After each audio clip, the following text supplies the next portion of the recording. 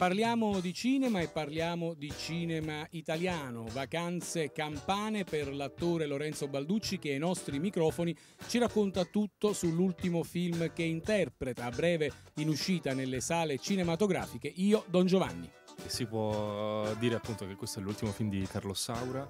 fotografato da Vittorio Storaro, è una storia eh, straordinaria, la vita di Lorenzo Da Ponte che, che ha scritto le, il testo del, del Don Giovanni di di, di Mozart ed è eh, la storia di, di, un Don Giovanni perché Lorenzo da Ponte ha, ha, una grande storia, una grande biografia da raccontare, una, una, un, un, genio di assoluto e, e, interpretare questo ruolo dalla, diciamo, dalla, dalla, giovinezza all'età più adulta, più matura eh, è stata una, eh,